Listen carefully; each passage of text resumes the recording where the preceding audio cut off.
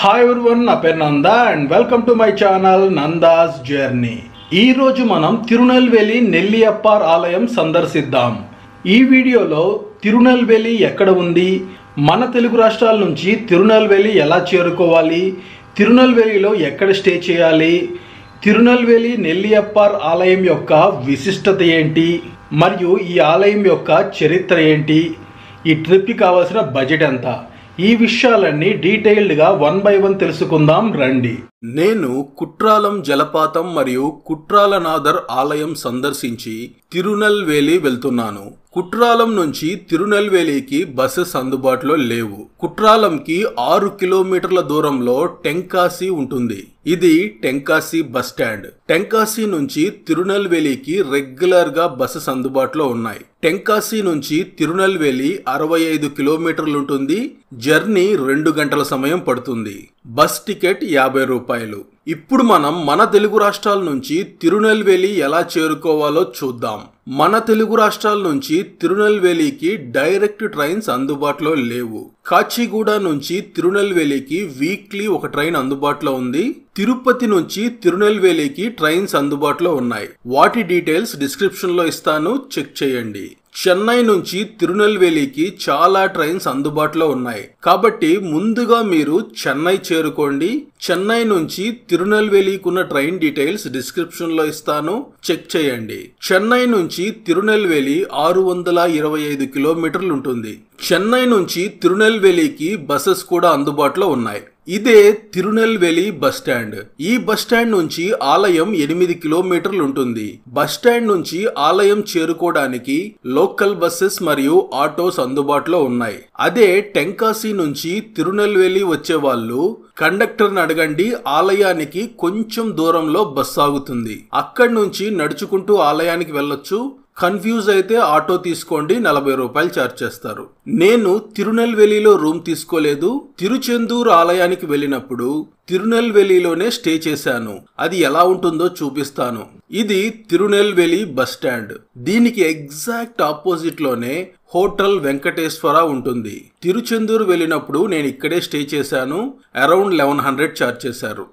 తమిళనాడులోని అతి పురాతన మరియు అతి పెద్ద ఆలయాల్లో శ్రీ నెల్లియప్పార్ కాంతిమతి అమ్మన్ ఆలయం ఒకటి. ఈ ఆలయం పద్నాలుగున్నర ఎకరాల్లో ఏడవ శతాబ్దంలో నిర్మింపబడింది. ప్రస్తుతం చుట్టూ ఇల్లు షాపులు ఉండటం వల్ల ఈ ఆలయం ఎంత పెద్దది అనేది క్లియర్గా తెలియదు ఈ టాప్ యాంగిల్లో చూస్తేనే ఈ ఆలయం ఎంత పెద్దదో తెలుస్తుంది. ఒరిజినల్గా ఈ ఆలయాన్ని నిర్మించింది పాండ్యులు. లో నింద్రసీర్ నిడుమారన్ అనే పాండ్యరాజు ఏడవ శతాబ్దంలో నిర్మించాడు. మొదట్లో నెల్లియప్పార్ మరియు కాంతిమతి అమ్మన్ ఆలయాలు విడివిడిగా ఉండేవి. పదహారు వందల నలభై ఏడులో వాడ మలయప్ప పిల్లై ఈ రెండు ఆలయాలను కలుపుతూ పెద్ద మండపాన్ని నిర్మించాడు.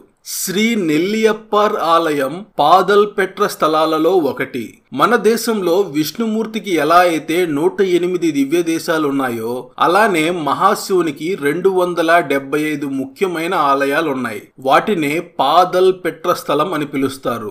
భూమిపై మహాశివుడు నృత్యం చేసిన ఐదు ప్రదేశాలలో ఈ ఆలయం కూడా ఒకటి. మహాశివుడు నృత్యం చేసిన ప్రదేశాలను పంచసభై స్థలంగల్ అని పిలుస్తారు. అవి చిదంబరం కనకసభ మధుర మీనాక్షి ఆలయం రజిత సభ కుట్రాలం చిత్రసభ ఈ నెల్లియప్పార్ ఆలయం తమిర సభ తిరువాలంగడు వేదారణ్యేశ్వర ఆలయం రత్నసభ.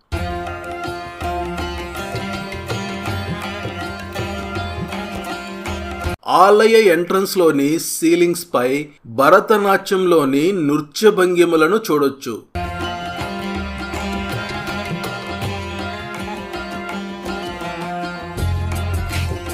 చాలా అద్భుతంగా ఉన్నాయి కదా?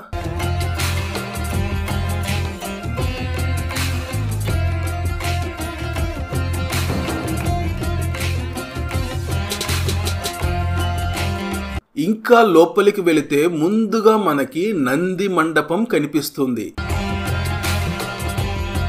ఈ నంది మండపాన్ని పదహారు వందల యాభై నాలుగవ సంవత్సరంలో శివంతియప్ప నాయకర్ నిర్మించాడు. తంజావూరు బృహదీశ్వర ఆలయంలోని నందిలాగా దీన్ని చెక్కించారట.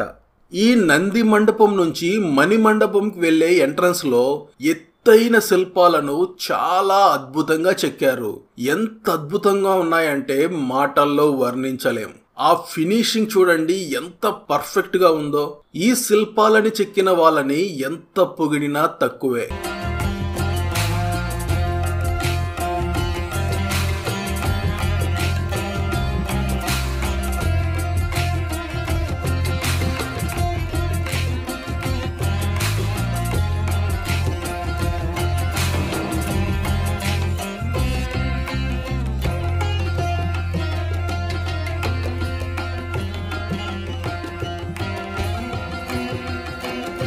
ఈ నంది మండపంకి ఎడమ వైపు కూడా అద్భుతమైన శిల్పాలు ఉన్నాయి.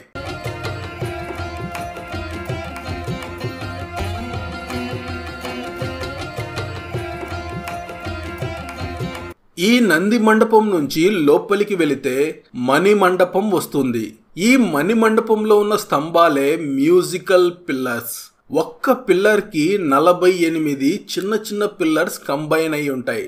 వీటిలో ఈ రెండు మ్యూజికల్ పిల్లర్స్ నార్మల్గా మ్యూజికల్ పిల్లర్స్ అంటే హంపి ఆలయం గురించి చెప్తారు. కానీ ఈ ఆలయం హంపి ఆలయం కంటే ఎనిమిది వందల ఏళ్ళకు పూర్వమే నిర్మించారు. మ్యూజికల్ పిల్లర్స్ ఉన్న అతి పురాతన ఆలయం ఇదే.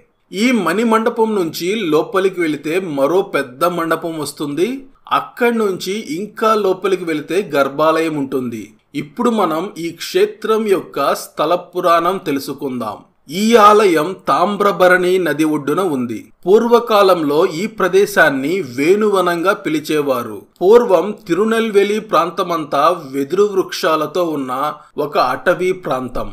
అందుకే దీనిని వేణువనంగా పిలిచేవారు. శివుని లీలల కారణంగా వేణువనం తిరునెల్వేలిగా రూపాంతరం చెందింది. తిరునల్వేలి అనే పేరు రావడానికి ఒక కథ ప్రచారంలో ఉంది. పూర్వం వేదశర్మ అనే బ్రాహ్మణుడు ఈ ప్రాంతంలో నివసించేవాడు. తాను వ్యవసాయం చేసుకుంటూ జీవించేవాడు. ఒకసారి తీవ్రమైన వరదలకు అతని ఇల్లు మునిగిపోయి ప్రాణాపాయ స్థితిలో ఉండిపోయాడు. పొలంలోని ధాన్యం నీటిలో కొట్టుకుపోతుంది. ఈ ప్రకృతి వైపరీత్యానికి చెలించిపోయిన వేదశర్మ శివుణ్ణి ప్రార్థించగా మహాశివుడు ఈ ప్రమాదం నుంచి రక్షించాడు. అందుకే ఈ ప్రదేశానికి తిరునెల్వేలి అనే పేరు వచ్చింది. తమిళంలో తిరునెల్వేలి అంటే తిరు అంటే గౌరవవాచకం. మన తెలుగులో శ్రీ అంటాం కదా అది. నెల్లంటే వరి పంట వెలి అంటే రక్షణ కంచె ఇంగ్లీష్లో ఫెన్సింగ్ అంటారు. మహాశివుడు తన భక్తుని వరిధాన్యాన్ని రక్షించడానికి కంచెగా ఉన్నాడు కాబట్టి ఈ ప్రదేశానికి తిరునెల్వేలి అనే పేరు వచ్చింది. ఇన్సైడ్ కెమెరా అలవ్ లేదు.